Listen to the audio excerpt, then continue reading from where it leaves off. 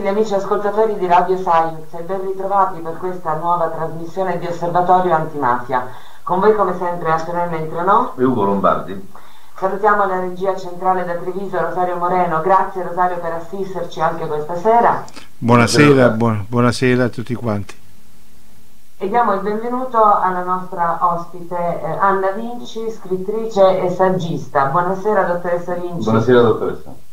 Buonasera, grazie. Grazie a lei per aver accettato il nostro invito. E, ehm, con lei questa sera vogliamo ehm, ricordare un brutto termine perché penso che eh, certe persone, la, la, vita di certe persone non deve essere mai definito un ricordo ma qualcosa di costante. Comunque parleremo di Tina Anselmi che purtroppo ha intrapreso l'ultimo viaggio proprio ieri, quindi ehm, l'altro ieri, chiedo scusa, e quindi con lei che è, è la sua voce sostanzialmente eh, ripercorreremo le tappe più importanti, salienti del percorso politico di questa donna, un percorso politico sicuramente molto particolare e molto impegnativo se consideriamo gli anni in cui ha cominciato la sua carriera. Una donna impegnata da sempre eh, nel sociale, nata a Castelfranco Veneto, eh, ha frequentato il ginnasio a Bassano del Grappa, è stata staffetta durante la resistenza, quindi partigiana, eh, col nome di, di Gabriella, è stata attiva nel sindacato, si è iscritta nella DC, ehm, grazie a lei abbiamo la legge sulle pari opportunità, quindi si è interessata in tempi non sospetti della, della, della questione di genere, insomma, fino a diventare eh, ministro della, della Repubblica, eh, prima donna ministro della Repubblica, eh, precisamente ha ricoperto il ruolo di ministro del lavoro e della previdenza sociale e con, il, con il governo Andreotti. Eh, altra cosa assolutamente importante è stata presidente della commissione parlamentare d'inchiesta sulla loggia massonica P2 di Vicio Gelli che ha terminato i suoi lavori nel 1985. Insomma, dottoressa Vinci, un percorso particolarissimo, eh, estremamente impegnativo e mm, difficile per una donna, soprattutto se andiamo a considerare gli anni in cui ha svolto la sua attività politica politica, ma ehm, assieme a lei vorremmo capire anzitutto qual è stato lo spirito che secondo lei ha caratterizzato eh, le scelte di Tina Anselmi. Sì, voleva farmi un'altra domanda o rispondo adesso a, a, a questa prima? No, no. Pronto? Eh, sì, noi la sentiamo. Ah, no, sì, no, no, no, eh, lei mi diceva qual, qual, è lo spirito che ha caratterizzato no, le scelte di Tinanzelli, eh, che sono varie, ecco, al di là di questa varietà e, e di questa moltiplicità eh, di, di, impegno, partendo appunto dal, dalla, dall'impegno, dalla scelta della resistenza, il sindacato, la vita politica, poi lei eh, prima ancora da ragazza, e questo lo voglio sottolineare, è stata una sportiva ha partecipato a delle gare a livello regionale, lanciatrice di giavellotto, cioè era una persona che da subito ha, ha, ha dimostrato una sua voglia di, di, di, vivere, di partecipare e di sfidare e di sfidarsi. Ecco, eh, credo che una delle caratteristiche di Tina, per quello che io l'ho conosciuta dal 2002 soprattutto fino ad oggi, eh, fosse proprio la curiosità, l'apertura verso la vita e, e, e, la capacità di guardare. Cioè lei quando mi raccontò la sua scelta nella resistenza, eh, io tentavo anche di, di, comprendere qualcosa che a 17 anni eh, non doveva essere facile, anche se non ci dimentichiamo che poi la resistenza fu fatta da giovani, donne e uomini, gli stessi capi avevano 30 anni. Ebbene, lei mi, mi spiegò che uno dei motivi per cui ehm, scelse di, di, partecipare alla lotta armata con la consapevolezza di tutti i rischi è che proprio non voleva, non si poteva, non voleva e non doveva volgere lo sguardo dall'altra parte dal non, non, guardare quella che era la violenza dell'occupazione nazifascista e quello che era appunto eh, la, la, la, la, prepotenza e, e, questo spazio di libertà che erano già ristretti ma che si andavano sempre più restringendo. Quindi io credo che la forza di Tina fosse proprio il suo sguardo, la, capacità di, di, di, di, guardare gli altri. Eh, dottoressa, io ehm, leggendo la bibliografia dell'onorevole Anselmi eh, sono rimasto impressionato eh, dal fatto che eh, ci sono dei passaggi ripetuti in vari, in vari, da varie parti riportati, cioè la, la signora Anselmi avrebbe scelto di far parte dell'assistenza dopo aver visto 31 eh, giovani, sì. sì. 31 carcerati, insomma, imprigionati. Partigiani, sì. Che erano stati impiccati. Impiccati, sì, sì. Eh, mi, è venuto, mi, è venuto, così spontaneo un dubbio, cioè una domanda. Eh, se non avesse visto quei 31 eh, impiccati avrebbe fatto un'altra scelta o comunque sarebbe rimasta più moderata secondo lei?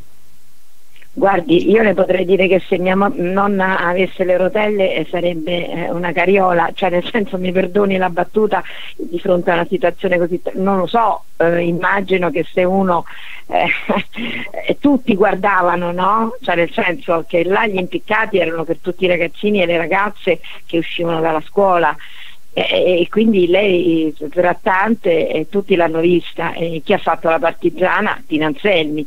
Quindi a mio parere poi uno vede cioè, eh, quello che, che, vuole no? mi sembra abbastanza scontato. Voglio non so come il suo essere diciamo contestatrice nel senso positivo diciamo, della parola è stato diciamo, manipolato, veicolato, condizionato da queste immagini eh, ma credo che dentro di sé avesse già un'idea, una volontà di, di, di contestare questo, questo, regime, insomma. Sì, lo ripeto, eh, eh, eh, avevano portato fuori una scolaresca intera a vedere questi ragazzi impiccati e, e tra tutte queste solo Tinanzelmi ha fatto la scelta partigiana, qualche cosa vorrà dire, no? È, cioè, eh, quindi quello che nella vita capita anche adesso lo vediamo, no? quello che sta capitando, cioè i profughi che muoiono li vediamo tutti, dopodiché c'è Salvini che dice, si mette la felpa e dice cose assurde che non hanno senso. E, e c'è chi guarda e cerca di, di, di, affrontare il problema, per cui obiettivamente eh, la, la, la, la risposta va da sé No, non so se riesco a spiegarmi. La risposta che diamo diciamo, ai profughi, che viene data dai profughi, è, diciamo, è, diciamo, a, a, diversi aspetti. Eh, l'aspetto diciamo, religioso e moderato eh, consente di, di accoglierli, eh, quello più estremista invece diciamo, li contesta. Ma voglio dire, la, la, la, la visione di un evento, di una diaspora, non credo che sia per tutti determinante di una risposta altrettanto violenta. Eh, quindi diciamo la stessa cosa lei. Eh, quello che voglio dire è una signora che ha fatto la maestra di scuola elementare, che ha fatto l'educatrice, una, una persona mm. che ha avuto un, an- un, animo così nobile, come ha potuto essere condizionata in questo modo? Ecco, è stata una scelta. Ma proprio forte. perché aveva nobile, l'animo nobile, no? Cioè non ho capito, lei vede eh, 30 ragazzi impiccati, questi nazisti che dicono ragazzi venite a vedere, eh, non ho capito, c'hai l'animo nobile e che dici? Sto dalla parte del carnefice? No, cioè, no. Mm, eh, eh, stai dalla parte della vittima, no? Cioè, nel senso... Voglio dire, una partecipazione no. ben decisa, insomma, bella forte, questo voglio dire. È stata una... una, una, eh, non lo so, è stata una partecipazione, è stata... Uh, uh, non so, un qualcosa maturato già da tempo, eh, cioè tu vedi quello che, che, che, che, riesci a cogliere, che il tuo spirito, chiamalo come vuoi, il tuo cuore, la tua pancia, la tua testa, eh, ha elaborato dentro di te. Cioè, nel senso, la gente, la maggioranza delle persone hanno i prosciutti nelle orecchie, non vedono, eh, non, così, e ci sono delle, delle persone rare che hanno la grazia proprio perché sono cuori, nobili di cuore, di, di guardare, di stupirsi, di indignarsi e di scegliere, ma consapevoli, perché lei lo sapeva, cioè prima quando ha detto io vado a partecipare alla guerra, alla lotta armata, le hanno fatto un, un, so, una specie di interrogatorio di quarto grado, perché le dicevano ho capito, la lotta armata, sai che ti possono torturare, sai che puoi morire, sai che puoi ammazzare, sai questo, sai quest'altro, cioè non è che è, la lotta armata è un pranzo di gala, eh, quindi lei aveva ben chiaro, ma ovviamente, come mi ha spiegato, non, non poteva far finta di niente.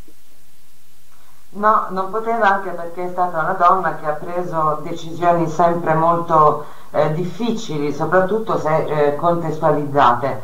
Una delle frasi che eh, ho letto pronunciate dall'onorevole Anselmi è stata la nostalgia va presa a piccole dosi, altrimenti, ah, sì, sì. Eh, altrimenti ti corrode molto bella. mi sono chiesta se, mh, mm, visto che lei è stata alla penna, alla voce, eh, dell'onorevole Anselmi sino alla fine. Osservando l'agire dell'attuale classe politica, eh, di cosa eh, l'onorevole Anselmi aveva nostalgia, provava nostalgia? Tina Anselmi? Sì. Vedendo l'attuale classe politica? Sì, di questa attuale eh, classe eh, politica. Cioè, diciamo che lei fortunatamente eh, eh, aveva una sua grazia che era quella che era etica e non moralista eh, attenta e severa e non giudicante. Mm, quindi eh, diciamo che fortunatamente nei, nei tanti dialoghi che abbiamo avuto lei più che giudicare raccontava quello che era. No? e quello che erano stati perché esiste un'intelligenza eh, che dovrebbe essere secondo me l'intelligenza inte- dell'intellettuale scrittore mm, colui che come diceva Eco racconta non deve limitarci a, a, a, raccontare quello che vede, ma dovrebbe essere in grado, guardando quello che accade, di prevedere quello che capiterà.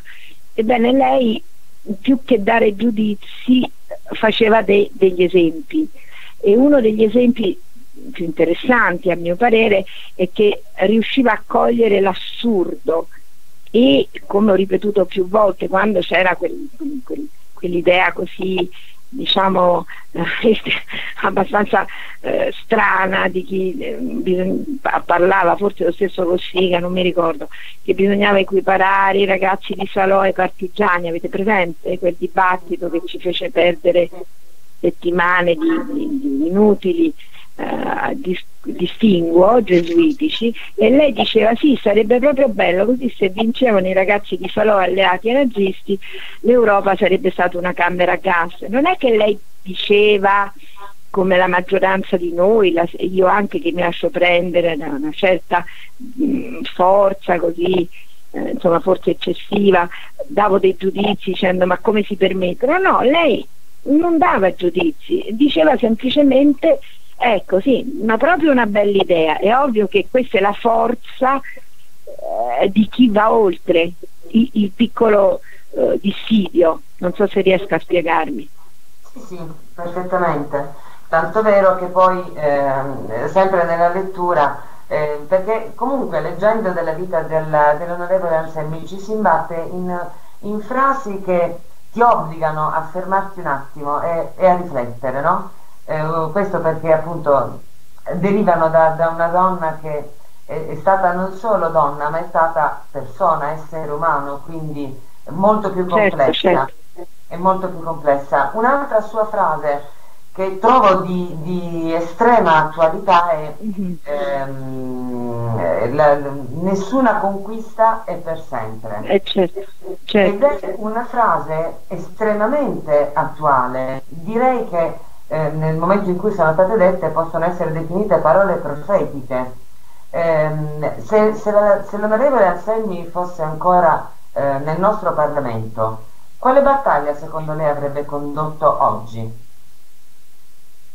Beh, guardi, lei mi fa delle domande al limite della preveggenza, cioè nel senso che io sinceramente non le so proprio rispondere cioè, quale battaglia avrebbe condotto? Seco- non so, sicuramente ecco una cosa che avre- non, non, sopportava era eh, eh, la capacità eh, diciamo delle persone di parlare a ruota libera. Ecco, cioè questo, lei amava le, le, frasi e le parole chiare e nette, quindi non sopportava l'autoreferenzialità, che è una, un elemento distruttivo dei nostri tempi, per cui io affermo una cosa nel momento in cui l'affermo è vera.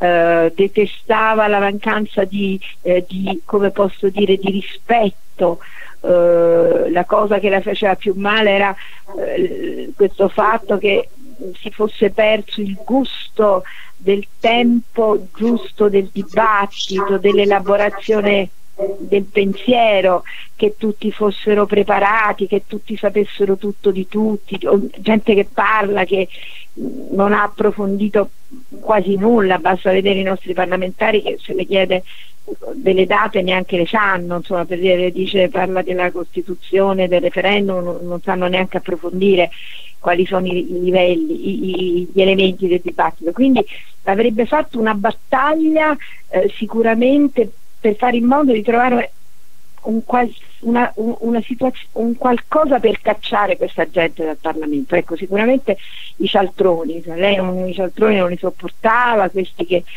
confondono il dibattito politico con la lotta, diceva all'epoca nostra non eravamo migliori, ma almeno anche se eravamo avversari non eravamo nemici. Lei era una donna eh, raffinata, e eh, mi permetto, insomma, avviandoci un po' alla conclusione, che la cosa che mi colpisce di più, lei è molto gentile Antonella a ricordare queste frasi di Tino Anselmi che mi permettono di, di fare un discorso rimanendo entro dei, degli argini, diciamo, no? Mh, dettati da Tina, no? perché noi stiamo partendo da lei, no? parliamo di lei con tutto il rispetto dovuto a un momento cioè, in cui lei appunto inizia questo suo, suo viaggio, che, essendo poi sia temeraria che curiosa e, e allerta, lo, si, lo, condurrà bene, senza conoscere le leggi, le nebbie dell'approdo, né, i, i, i, pericoli, però ecco, sicuramente lei aveva un'idea che non è che perché uno è una politica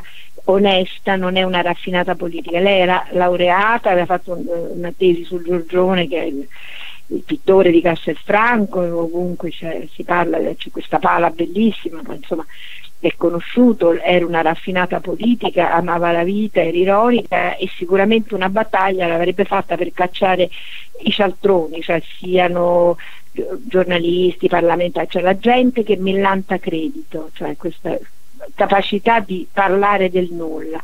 Ecco, questo credo, non so come, ma l'avrebbe fatta con molto piacere, in modo di ricondurre i tempi della politica al dibattito, non allo scontro, non al, al, al, rendere i cittadini ostaggio, casomai di dibattiti anche che potrebbero essere interessanti con delle giuste ragioni, tipo referendum del sì e del no, ma dove si intravedono purtroppo vecchi livori, eh, rancori di lotte mai sopite, quindi non, non, avrebbe voluto che i cittadini si sentissero ostaggio eh, di, di eh, di, di, di, battaglie che sono apparentemente legate al paese, che però invece nascondono una guerra del, insomma, degli ultimi giorni di Pompei, ecco come dire, per cui penso che noi questa sera io vi ringrazio che mi date l'opportunità di salutare Tina insieme a tutti voi e sapete che dopo domani c'è il funerale qui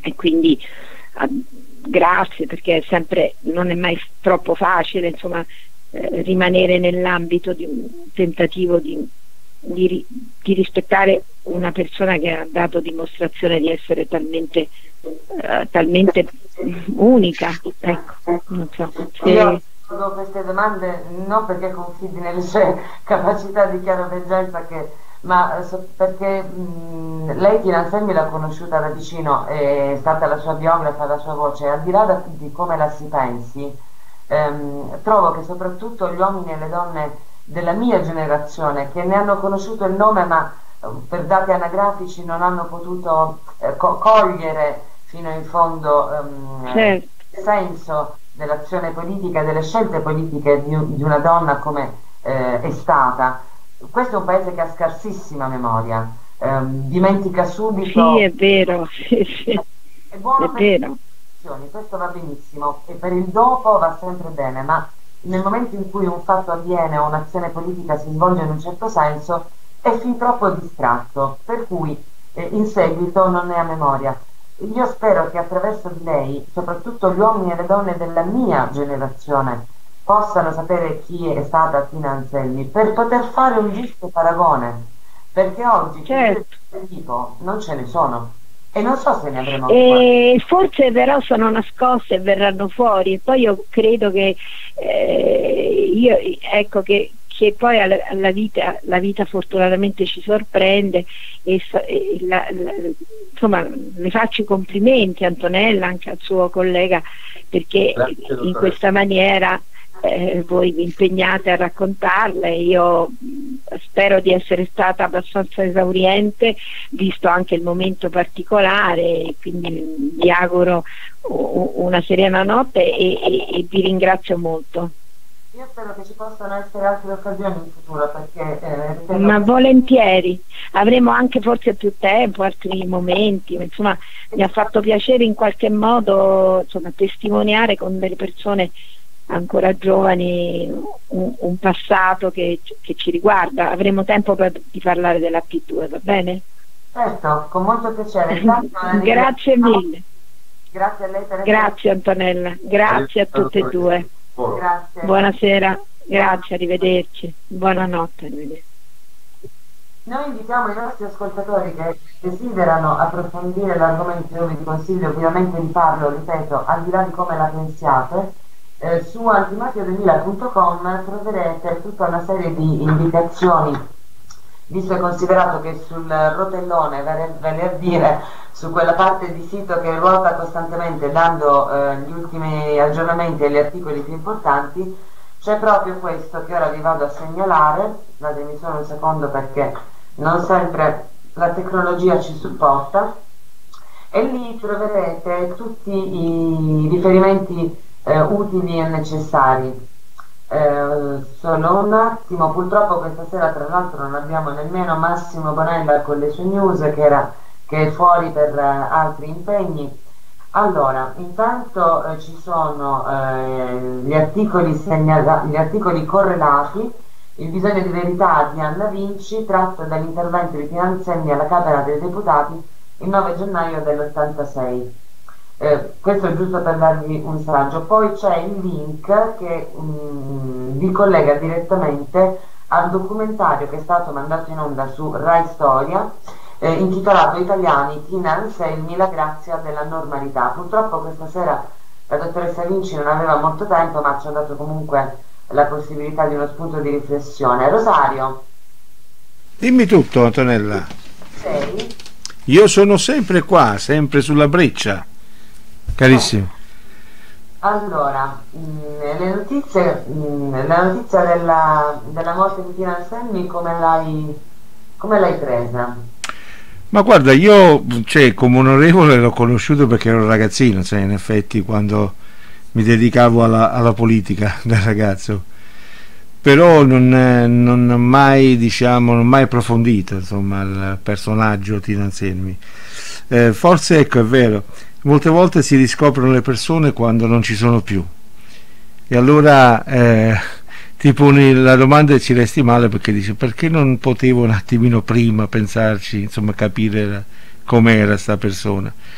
Molte volte ti leghi anche a un ideale quindi quell'ideale se una persona non appartiene al tuo ideale cioè, tu non, non, la segui insomma non, è come se te ne fregassi insomma perché fa parte del tuo avversario politico insomma però io ho notato una cosa, che tutte le persone, tutti i politici di quella generazione, eh, da Almirante, Berlinguer, eh, eh, era un altro modo di fare politica. E come giustamente ha detto la dottoressa Vinci, cioè, erano avversari politici, non erano nemici. Esatto. Oggi invece è l'opposto. Oggi è la, è la, la, questione è proprio opposta, perché oggi per il fatto che uno pensa di essere il dio della situazione, insomma gli altri non sono nessuno e quindi li calcola come nemici, insomma. Perché poi alla fin fine è così, guardiamo anche il nostro Presidente del Consiglio, cioè non è che ascolta eh, diciamo veramente la massa, la gente, perché se ascoltasse la gente farebbe qualche cosa un po' di diversa, so. Eh, soprattutto per chi, per chi, ha fame, insomma, per chi eh, si trova in, in condizioni di, eh, diciamo, economiche abbastanza precarie.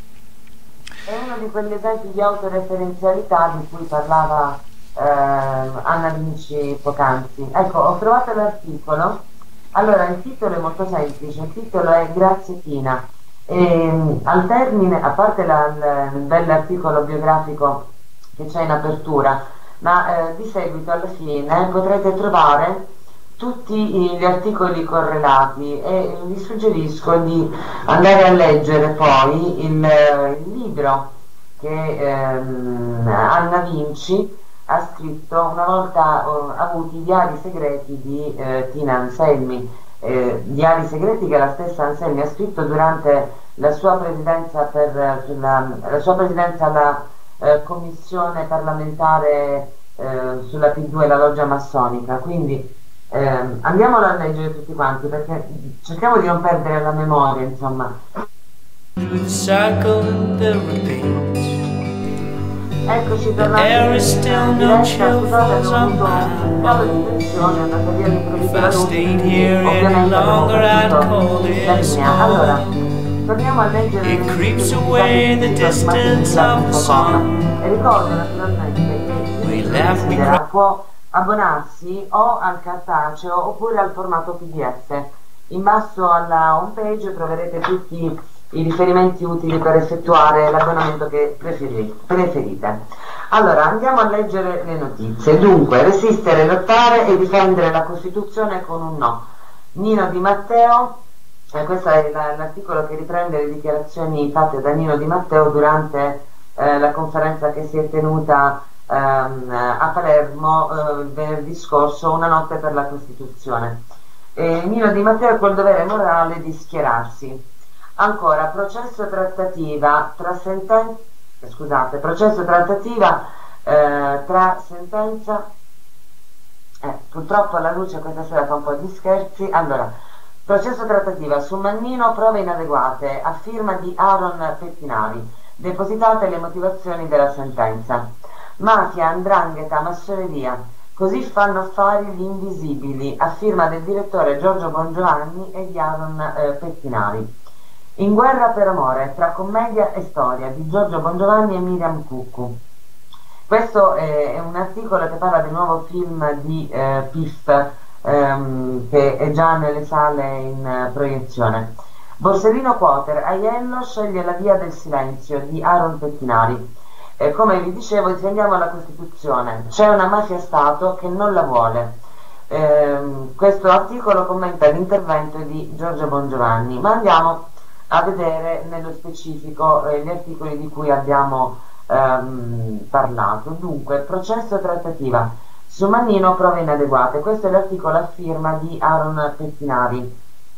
Depositate le motivazioni della sentenza, duro il parere su Ciancimino. Nei confronti di Mannino gli elementi iniziali per affermare che vi fu da parte sua il genere di interferenza di cui è accusato risultano non adeguati. È così che il GUP Marina Petruzzella, nelle motivazioni della sentenza con cui il 4 novembre 2015 ha assolto dall'accusa di minaccia al corpo, al corpo politico dello Stato l'ex ministro DC Calogero Mannino. Quest'ultimo, vi ricorderete ascoltatori che abbiamo discusso di questo già al tempo con Aaron Pettinari nel momento in cui vi fu la notizia dell'assoluzione ehm, per l'ex ministro Calogero Mannino. Vado a continuare a leggere. Quest'ultimo, a differenza degli altri eh, coimputati, aveva scelto il rito abbreviato e nel documento di oltre 500 pagine depositato quest'oggi il giudice parla di prove inadeguate, di suggestiva circolarità probatoria, di interpreta- interpretazioni indimostrate. Manca dunque la prova che il politico sarebbe stato il motore della cosiddetta trattativa tra lo Stato e la mafia. I magistrati, il procuratore aggiunto Vittorio Teresi e i sostituti Nino Di Matteo, Roberto Tartaglia e Francesco Del Bene avevano chiesto una condanna a nove anni, ma le prove portate nei suoi confronti non sono sufficienti. Non c'è qualcosa, come nelle fonti orali o documentali, che dimostrino, scrive il giudice, il collegamento tra l'iniziativa dei Ross di interloquire con Vito Ciancimino e l'evento ipotizzato dall'accusa di un accordo tra Mannino e Cosa Nostra per salvarsi e attuare un programma politico favorevole a una trattativa, volta a, condiziona- volta a condizionare, partecipando all'attività ricattatoria stragista della mafia, le scelte del governo.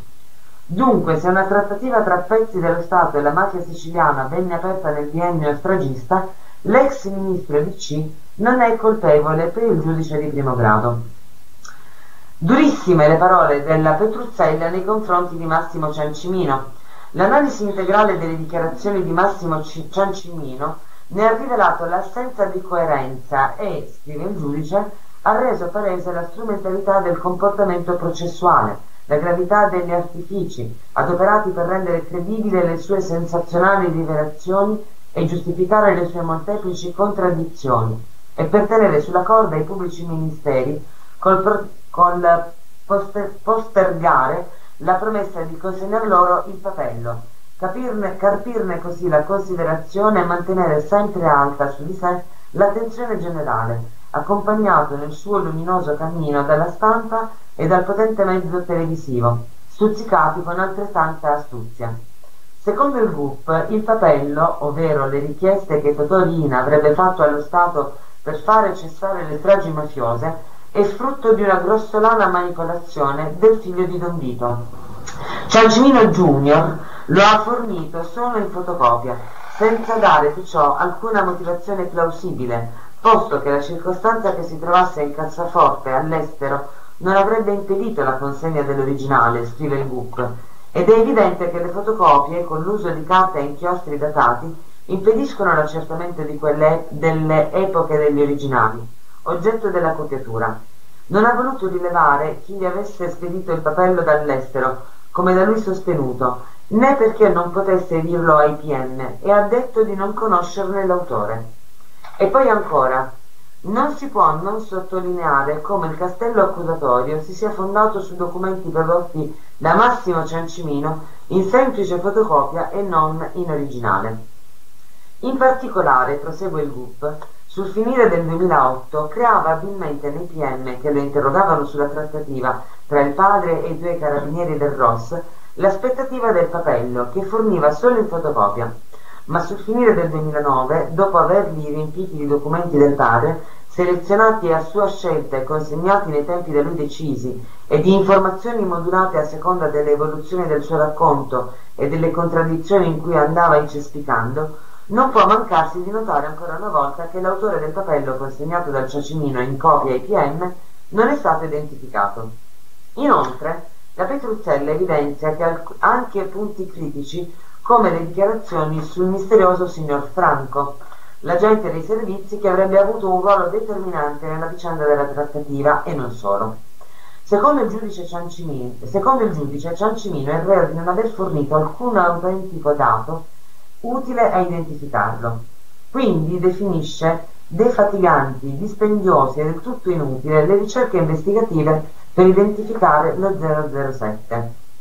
Tra i documenti che vengono ricordati vi è anche quello falso predisposto da Ciancimino ai danni di Gianni De Gennaro, all'epoca capo della polizia, ed anche la vicenda dei candelotti di dinamite fatti rinvenire ai PM nel giardino della Solitazione a Palermo nell'aprile del 2011, per cui la detenzione ha già ricevuto una condanna. Scrive ancora il giudice che allo stato degli atti appare improbabile da un punto di vista processuale che applica i canoni della gravità e della precisione indiziaria degli elementi di fatto cui, eh, su cui fondare un ragionamento probatorio, collegare il fatto che Mannino si raccomandasse con i Ross alla interlocuzione tra i Ross e Vito Ciancimino e alla scelta di sostituire Scotti col magnanino Nicola Mancino e con le dimissioni successive di Martelli. Tuttavia è ragionevole ritenere che i descritti, che i descritti comportati di Mannino con Guazzelli e con i Ross siano stati determinanti della volontà di trovare una protezione speciale, approfittando certamente della sua pregressa conoscenza con Sudranni e dei privilegi che gli derivavano dal suo ruolo di potere politico. Nelle sue conclusioni il giudice parla di elementi di sospetto, che non hanno quindi una grave e autonoma natura indiziaria e che se considerati come se eh, possedessero tali connotati possono, possono prestarsi ad interpretazioni facilmente ribaltabili e tutte analogamente plausibili e in fin dei conti prive di specifico valore dimostrativo processuale. La Petruzzella, in merito alla serie di fatti descritti dai PM della requisitoria, dei timori confessati da Mannino ai contatti con i Ross per tutelarsi, all'indagine sul Corvo 2, quella su mafia appalti, la presenza della falange armata, la sostituzione del ministro Scotti con, Min, con Mancino, quella di Mattelli con Conso e gli avvicendamenti ai vertici del DAP con la successiva revoca del 41 bis, spiega che ciascuno dei fatti politici, valorizzati dal PM, può avere avuto cause diverse, dettate ad esempio dalle consuete logiche di appartenenza della macchina e della, burocrazia, e della burocrazia partitica, dalla volontà di evitare la linea netta di contrarietà al 41 bis, come quella che in realtà veniva all'epoca propugnata da Niccolò Amato, rivelata dalle note che questi all'epoca scriveva al ministro, ovvero dalla volontà di percorrere una linea meno coraggiosa di quella di Vincenzo Scotti, anche ispirata da scelte di bieco opportunismo politico, senza la necessità di un accordo siglato con una parte mafiosa. Questo è eh, parte del lungo articolo che eh, appare su eh, antimafia2000.com e che raccoglie quelle che sono le motivazioni che hanno ehm, determinato eh, la sentenza. Insomma, è un periodo un po' difficile questo per il nostro paese, um, Ugo e Rosario. Sì, è un periodo difficile, ma forse non sono in tanti ad accorgersene, oppure sono, sono, sono vigili e attenti, ma fanno finta di non vedere. Mai credo che sia un periodo mh, mm, che potrebbe essere definito oscurantissimo, un, un periodo oscurato al Medioevo. Al Medioevo eh, dove eh, diciamo, c'è la gara a chi fa meno o a chi fa, fa finta di più di non vedere. E quindi siamo in una situazione, in una situazione molto, molto, ehm, molto caotica secondo me. D'altra parte abbiamo anche i, i, rappresentanti dello Stato che non credo abbiano consapevolezza di dover essere rappresentanti dello Stato, ma continuano a fare i rappresentanti di partito, per cui eh, andiamo continuamente alla ricerca di qualcuno che rappresenti lo Stato, visto che ne abbiamo così pochi, anzi forse non riusciamo a trovarne. Dunque, sia tu Ugo che tu Rosario siete stati e siete comunque ancora tutt'oggi impegnati da un punto di vista politico e avete osservato eh, l'evoluzione della, della classe politica nel nostro paese. Chiedevo prima alla dottoressa Vinci se l'onorevole Anselmi fosse stata ancora qui oggi, che tipo di battaglia avrebbe sposato? Voi che battaglia sposereste se aveste la possibilità di essere attivi politicamente? Naturalmente io cedo la risposta a Rosario. Perché... Grazie per avermi ceduto la risposta. Ma sai che cos'è? sai Antonella che cos'è? Che il, il mio è un grosso problema in quanto il mio partito non esiste più cioè il partito qui nel quale credevo prima e che ho sempre votato non esiste più. Cioè perché il PD per esempio che cos'è? non è niente. Non ha nulla a che vedere col mio passato. Eh, il centrodestra non, lontanamente dalle mie vedute diciamo non solo politiche ma anche sociali e quindi che cosa ci rimane? Molti dicono, vabbè c'è il Movimento 5 Stelle, sì sono d'accordo, insomma è un movimento di, di, popolo perché in fin dei conti è un movimento che cerca di dare, eh, non solo di dire qualche cosa ma anche di dimostrarlo. Però politicamente io credo ancora in determinate cose che sono fondamentali, come il, il marxismo, quindi sono lontano da questa politica, da questo governo e da questi politici soprattutto quindi la lotta che potrei fare io è cambiare tutto il Parlamento, dare voce veramente al popolo, però non, far fare la campagna elettorale come la fanno adesso, ma come si faceva una volta, quando la gente eh, parlava con i propri politici nei quartieri, nelle sezioni di partito, eh, ma non solo, solo nel Partito Comunista, ma anche gli altri partiti facevano queste cose. No? Oggi no, oggi eh, le, la, la, tribuna dove preferiscono andare i nostri politici è la televisione, la radio, qualche volta la radio, ma maggiormente la televisione. È come se volessero mettersi in passerella lì e dire ok io sono il più bravo, sono il più bello della situazione. Però alla fin fine io dico che c'è fuffa sotto, non c'è realtà, non c'è, eh, non c'è, non c'è sostanza di quello che dicono ma soprattutto di quello che fanno. Però ci prendono per in, in giro per il semplice motivo che la gente è abituata da oltre 30 anni di una tv spazzatura e quindi per loro va bene anche quello. Insomma. Quindi io dico, cambiare il Parlamento e dar voce al popolo, i politici devono scendere in piazza, in mezzo alla gente, nelle sezioni, nelle sedi, come le vogliamo chiamare, parlare con il popolo e chiedere a loro cosa vogliono esattamente e parlare con loro, che cosa veramente io politico voglio fare per la mia nazione, ma soprattutto per i miei elettori. Invece oggi non gliene frega niente a nessuno, sono politici che si presentano in un partito, se non c'è posto in un partito si creano delle, le, delle liste civiche, si partecipano con le liste civiche, oh, giusto perché uno deve essere eletto andare lì, poi basta. Senti, io guardo tutti i giorni quello che fanno con la, eh, dal Parlamento perché come, come, network, come tv soprattutto, mando tutti i giorni. Eh, eh, quello che, che, fanno i nostri politici, anche le commissioni, no? tutte le trasmissioni registrate delle commissioni e le rassegne stampe che fanno loro, eh, oltre alle dirette del, del Parlamento. Quindi alla fine io sono abituato a guardarli e vedere, non c'è nulla. Guardati un po' di Parlamento di 40 anni fa e guardati il Parlamento oggi, quello che fanno, e poi ti rendi conto che cosa dobbiamo fare? Cambiare, spazzare via sta gente, mandare, mandarli nei turbini con le scope e buttarli fuori. Forse è così facile, guarda. Eh, beh, eh, io ci, ci giuro che... Casa, ah, no, ma ti giuro che ci credo ci, che un giorno accada questo. Cioè, non veramente, non buttarli fuori veramente con la scopa, però che la gente apra gli occhi e dica ma questa gente qui mi ha preso per i fondelli per tanti anni, adesso non la voto più e invece no, invece ci ritroviamo gli stessi politici che, che oggi mettono la casacca del PD o del Forza Italia o di un altro partito, dopodomani ci ritroviamo in Parlamento che appartengono a un altro schieramento politico. Cioè, perché questo c'è. ecco, il calciomercato abbiamo il politico mercato.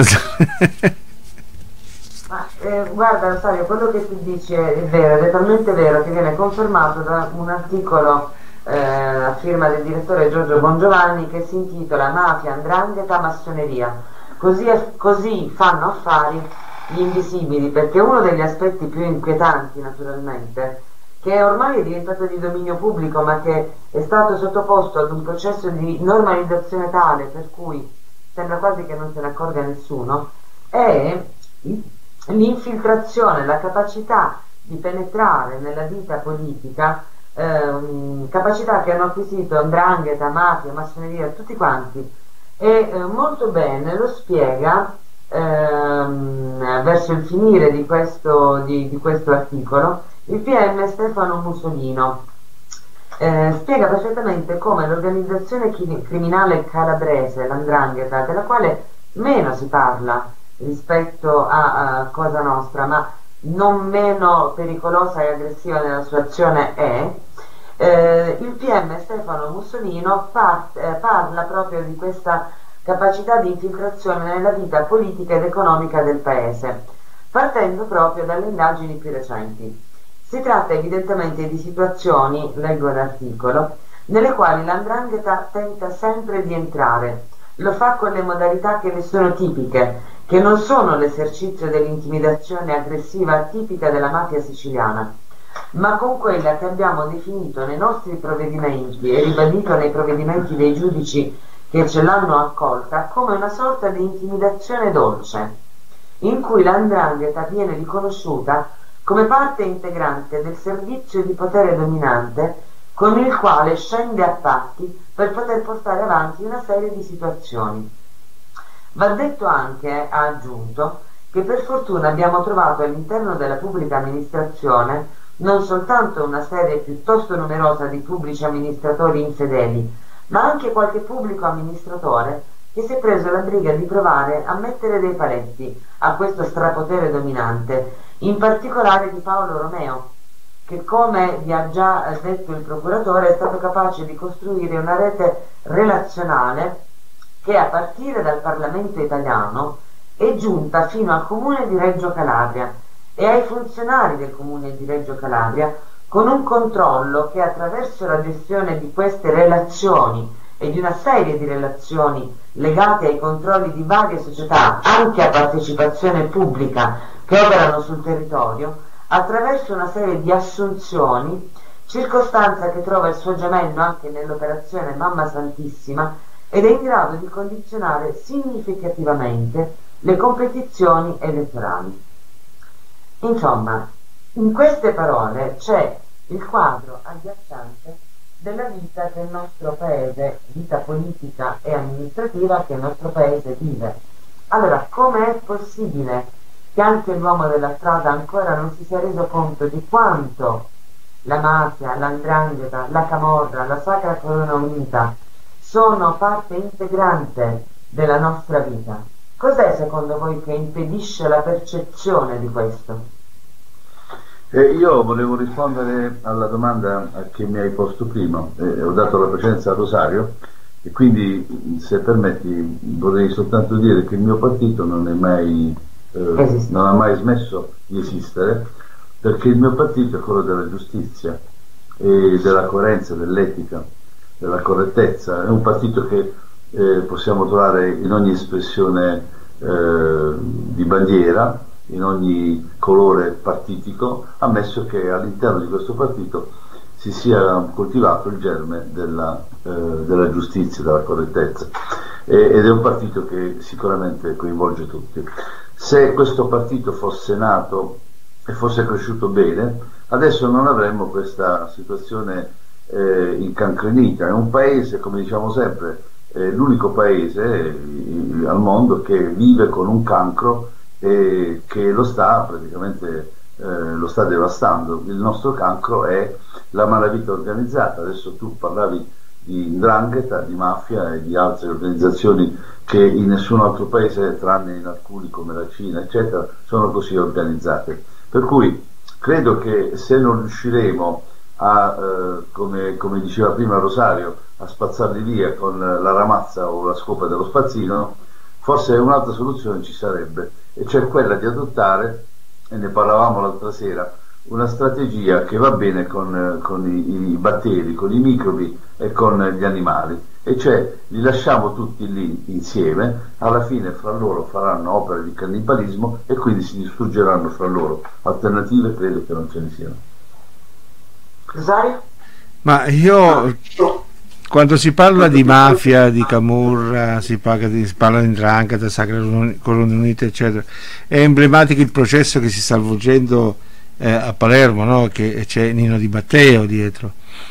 Cioè, se un giudice eh, non riesce a portare bene avanti no? il suo lavoro, a far bene, cioè fino in fondo il suo lavoro perché non c'è da parte del governo un aiuto, che cosa vogliamo? C'è. La risposta maggiore è quella che il nostro governo è fallito perché vuol dire che è infiltrato al massimo cioè ha fallito perché se non riesce a aiutare un giudice fallisce, un governo è fallito se dietro tutte quelle stragi tutto quello che c'è dietro ci stato sempre il governo almeno da quello che si capisce no?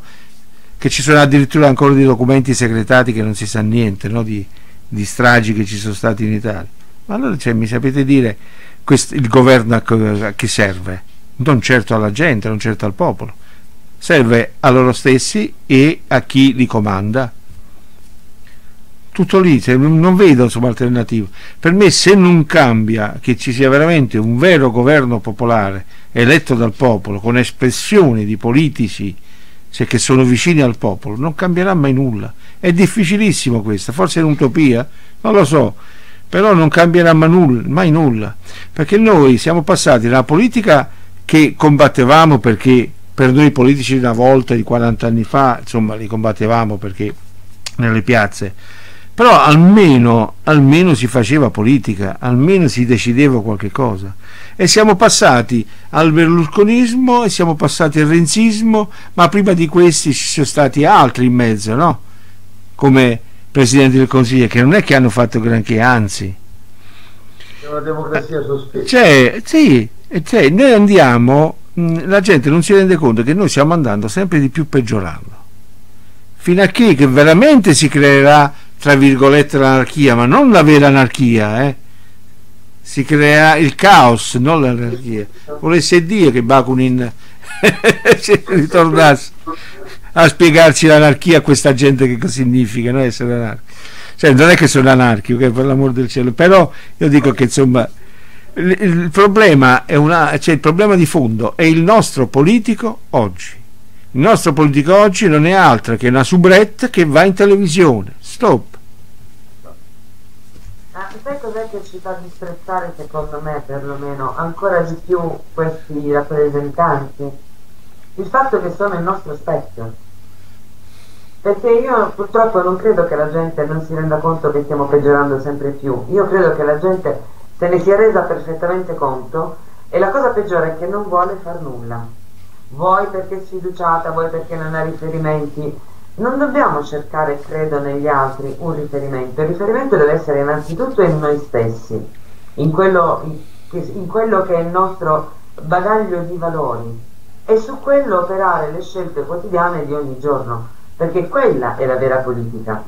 Allora, fino a che continueremo a cercare qualcheduno da pagare perché ci deve trovare il lavoro per il figlio o per la figlia, fino a che andremo in giro a pagare qualcuno perché ci dia un posto in ospedale, fino a che dovremo, saremo lì disposti a pagare per avere i nostri diritti, per vedere disrispettata la nostra dignità di esseri umani prima e di cittadini dopo, non potranno cambiare. Se non cambiamo prima noi, non potranno mai cambiare loro. Ma il problema, sai qual è, Antonello? Non è questione di cambiare prima noi, cioè noi, cioè tutti quanti noi, siamo diventati così perché ci hanno imposto di diventare così. Cioè, eh, diciamo che eh, eh, ci hanno resi schiavi. Cioè, oggi che cosa si parla? Si parla del, eh, de, de, diciamo delle persone che non riescono a mangiare oppure delle vere lotte sociali perché non, non, ce ne sono più di lotte sociali se non qualche manifestazione che viene brutalmente massacrata dalla polizia ma eh, di che cosa si parla? del grande fratello? grande fratello VIP cosa si parla? Cioè, è questa televisione noi dovremmo chiudere tutte queste televisioni e dire non trasmettete più per vent'anni e la gente deve abituarsi ad andare eh, in, per le strade, nei, ai comizi, eh, diciamo nelle biblioteche, nelle sedi dei partiti e incominciare a parlare e a discutere perché si deve ricreare una coscienza. Perché fino a quando avremo il grande fratello, ma stanno facendo il grande fratello Vippo, abbiamo le soppopere, saremo sempre bombardati. La gente non è che eh, non, eh, eh, diciamo è così perché vuole essere così, ma perché è stata trasportata, è stata portata a essere così. È come quando eh, ti, diciamo, ti fanno quella pubblicità, no? Eh, quelle pubblicità subliminali che ti mettono in mezzo perché ti fanno.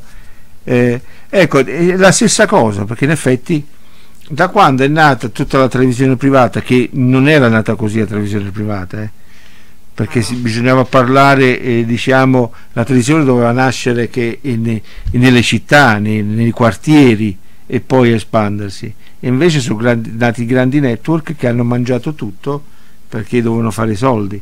Per fare soldi cioè, che diciamo, diciamo, che è diventato come un grande fratello la nostra nazione. Sono, sono 36 anni che ci fanno un po', che ci impongono questo tipo di, eh, di falsi miti, di falsi modelli. Allora, che cosa deve fare la gente?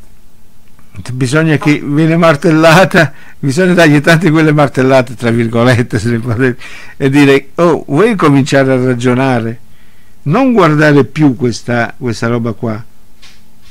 Non ti fare inculcare l'idea perché devi diventare la prima donna e andare in televisione perché tu vedi le migliaia di giovani che vanno a fare questi casting queste cose qui perché vogliono diventare qualcuno in televisione. Cioè non è così perché non c'è arte lì eh. L'arte non esiste proprio lì. Rosario, a proposito di quello che tu dici, leggo questo piccolo piccolo stralcio. Credo sia importante informarsi e confrontarsi sul referendum costituzionale che rischia davvero di cambiare definitivamente il nostro futuro. Nella proposta Renzi-Boschi vengono riscritti 47 articoli su 139 ed è di gran lunga la più ampia che sia mai stata fatta. Ci sono due dati, quantomeno singolari, che voglio portare alla vostra attenzione. In un documento del 2013, scritto dalla più importante banca d'affari americana, la JP Morgan, viene consigliato all'Italia di liberarsi di alcuni problemi dovuti al fatto che la sua Costituzione è troppo socialista. Quei problemi sono, nelle parole di JP, problemi sono, nelle parole di JP Morgan, governi deboli, stati centrali deboli rispetto alle regioni, tutela costituzionale dei diritti dei lavoratori, il diritto di protestare se cambiamenti sgraditi arrivano a turbare lo status quo. Considerazioni davvero molto simili ad altre che già, che già abbiamo sentito nel passato nell'intervista rilasciata da Licia Gelli, il venerabile della loggia massonica P2, a Maurizio Costanzo pubblicata il 5 ottobre dell'80 sul Corriere della Sera. In quell'intervista lui diceva che qualora fosse stato eletto Presidente della Repubblica, il primo atto sarebbe stato una completa revisione della Costituzione. Eh. Dobbiamo aggiungere altro? No, se come vedi, ma per arrivare a questo bisogna addormentare la gente, addomesticarla. Eh già, per questo le è stata tolta la possibilità di informarsi e di confrontarsi. E appena c'è qualcuno che protesta per i propri diritti, giù, mazzati a non finire. Isolamento, Sì. discredito, sono sempre quelle le armi utilizzate, quindi l'unica esortazione che ci sentiamo di poter fare è quella di informarsi e di confrontarsi, non solo sul referendum, ma su tutto quello che riguarda la vita della collettività.